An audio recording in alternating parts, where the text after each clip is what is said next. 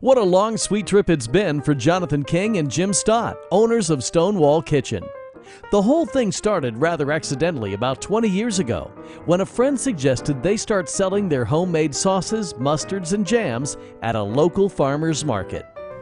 We had never thought of the idea of selling these products that we made. That first weekend, they made $250, so King and Stott stuck with it. Word began to spread about these two guys at the local farmer's market that are making really crazy things like roasted garlic and onion jam, raspberry peach champagne jam. Before long, King and Stott were selling so many products at farmers markets, fairs, and festivals, it became evident they could make a living doing this full time. Leaping forward from 1995, um, Stonewall Kitchen has grown from making 12 jars of jam in our little pot on the stove to making 40 to 50,000 jars a day. Uh, we open nine of our own retail stores, a cooking school, a restaurant, and we sell to about 5,000 stores worldwide. And it all starts here at this beautiful state of the art facility in York, Maine, which includes the company's flagship store and headquarters, including manufacturing. This is it. This is the, the mothership.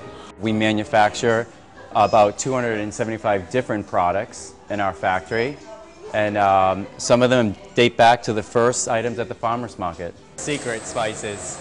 Among those mouth-watering concoctions, wild Maine blueberry jam, red pepper jelly, Maine maple syrup, and farmhouse pancake and waffle mix. And if you don't know what something tastes like, just ask. They'll open anything in the store and let you try it. Hi, Where are you nice from? To meet you. Uh, Wellesley, Massachusetts. And how did you find out about us? My friend just drove me here, and I'm so Hi, I'm excited. Jonathan. Unlike the early days, many of Stonewall Kitchen's products are now dreamed up in an on site research and development lab and perfected in the flagship store's test kitchen. We have a taste paneling group that comes in and evaluates the products and rates them on whether they feel it's a product worthy of the Stonewall Kitchen name. And um, if it's not, we make a couple changes to it and make sure that it's the best product it can be. A few years ago, Stonewall Kitchen also added a Parisian style cafe. An unbelievable lobster roll. The meat is all fresh and picked daily right here in local York.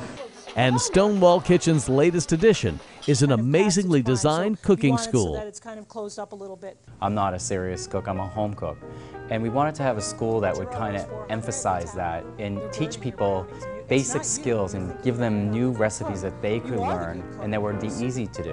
What I'm going to teach you to make today is one of our oldest, simplest recipes for the holidays. It's an old farmhouse chutney cheese ball. I've put two 16 ounce packages of cream cheese that I've let soften and then I'm going to add to it about a third of a cup, three quarters of a cup of our old farmhouse chutney. And then I'm going to take it and I'm going to kind of form it into a ball. You could let it cool for a while at this point and it may be a little bit easier to handle, but I'll just kind of quickly demonstrate the fast version. So you want to make that into a ball and then I'm going to coat the entire outside with chopped pecans or walnuts or any nut of your choice. We are obsessed with the quality of our fruits and our vegetables and everything that we make. We, we will not veer from any of those standards and that has really kept us you know, in the position we are as a leader of the specialty food industry. And a long way from the local farmer's market. We hope that Stonewall Kitchen will become one of those global brands that, you know, everyone knows and loves and respects.